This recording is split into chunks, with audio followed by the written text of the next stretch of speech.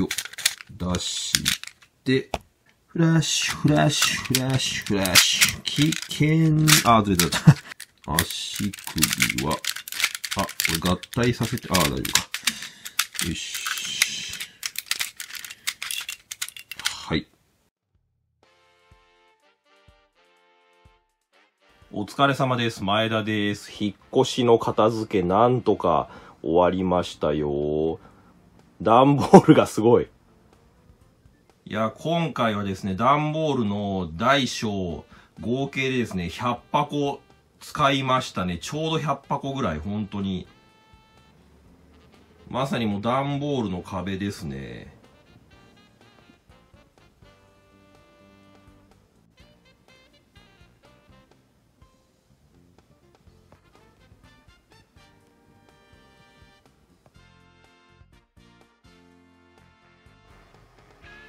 引っ越したはいいけど、これ開封して、また整頓が大変ね。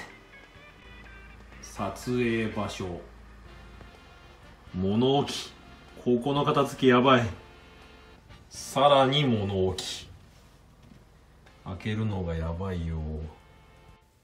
片付け開始僕はこんな感じのボックスを買って、戦隊ごとにおもちゃを分けて置いてあるんですね。で、前の事務所ではロボットの状態で置いてあって、パッと取り出せるように、すぐ撮影に入れるようにしてたんですね。まだ引っ越し後間もないので、荷物を出してそのまま放り込んであったり、箱のまましまってあったりっていうのが多いです。100円ショップで売ってるフードキーパーとかカラーボックスを利用してます。GO! まずは、超新星フラッシュマン。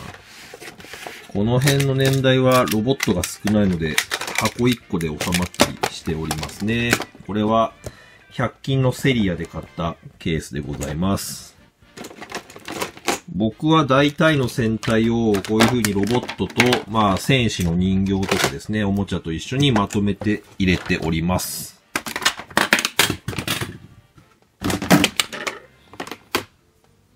このお部屋の高さは、あ、いけそうだね、グレートタイタン。基本的にはすぐに撮影ができるように、まあロボットの状態にしてある感じですね、いつも。これは、ジェットデルタで、どっち側だったかな？あ、ネジがこっちにあるから、こういう向きで、はい、タンクコマンドに合体ですね。はい。ジェットシーカーは、よ、出して、こうか。フラッシュ、フラッシュ、フラッシュ、フラッシュ、危険、あ、ずれた。えっと、はい。足首は、あ、これ合体させて、あ、大丈夫か。よし。はい。シールドつけて、ブイーンと。はい、フラッシュキング完成。フラッシュマンのお部屋は激レンジャーの横ですね。特に理由はないです。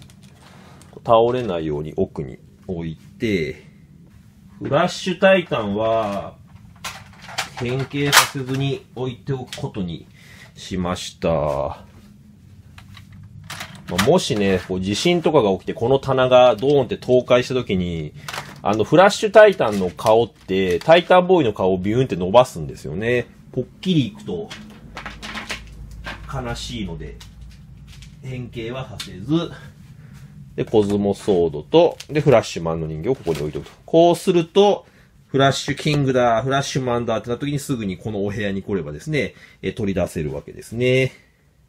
フラッシュマンの下のお部屋は、これはジェットマンですね。これミニプラかな？そうですね。ミニプラと、えー人形が一緒にこういう風にしまってあって、で、この白い大きい箱ですね。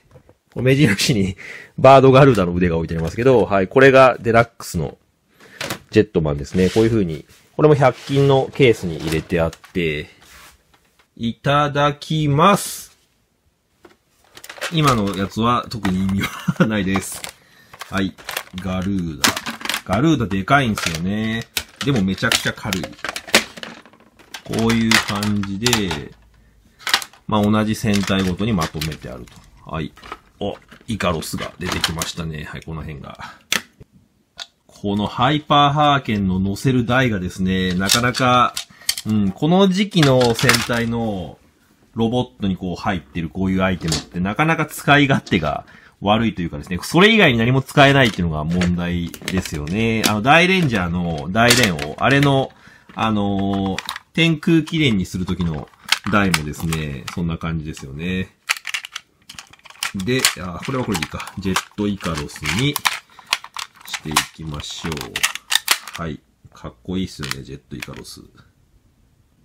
そう、僕が YouTube を始めた時にですね、一番最初、ご挨拶の後に撮った動画が、このジェットイカロスを買ったっていう動画で、えー、おもちゃレビュアーさんのですね、真似事をしてですね、なんかレビューなんてやってましたね。今思うと。その動画を見てもですね、長くてダラダラしてて、こうなんか抑揚が全然なくてですね、お恥ずかしいんですけど、で、このジェットイカロス、気づいた方今いらっしゃると思うんですけどね、このスワンとコンドルの、この頭になる部分がですね、頭というかこの頭が出てくるこのパーツの部分、ここ、ここもかな。そう、シールがないんですよね。このように。そう、中古で買ったんですけど、貼られてないという個体でした、シールが。で、もちろんシールは、あの、ついてなかったんで、そう、こんな感じでですね。いや、非常に残念。これで何度かですね、買い直したいと思ったぐらいの感じですよね。えー、っと、確か男メンバーがこっちか。そう、どっちがどっちかわからなくなるときあるんですけど、腕が、こっちが、あの、ジェットウォールなんですよね。なんで、男、イエローとブラックはこっち。で、えー、ここが、えー、っと、ジェットスワンに、あ、スワンじゃない、ジェットスワローになるので、こういう感じで、女性メンバーのメカが合体すると。はい、これでジェットイカロス完成。次が、ジェットガルーダですね。はい、こ、こっちか。で、えー、これも左右がどっちかわからない。確かこうだったかなうん。よいしょ。最近、ジェットマンのロボット敵役にしてない気がしますけど、どうでしたかね？腕をつけて、ガルーダの顔と、えっ、ー、と、マントっすね。ん？どこだっけかな？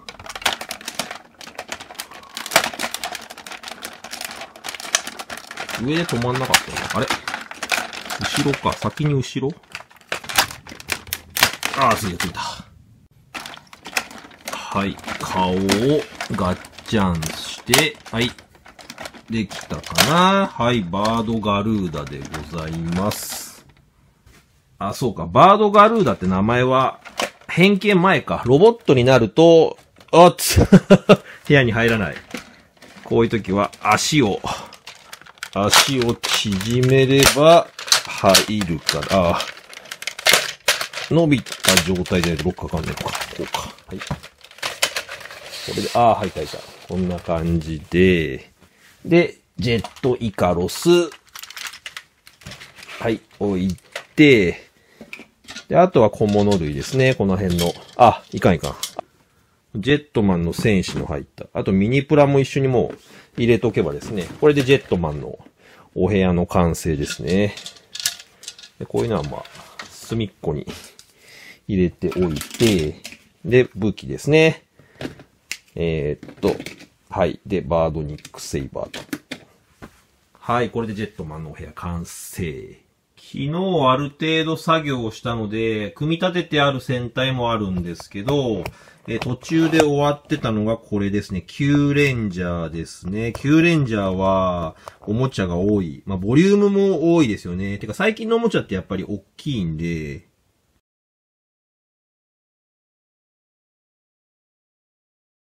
よろしくお願いします。前田でした。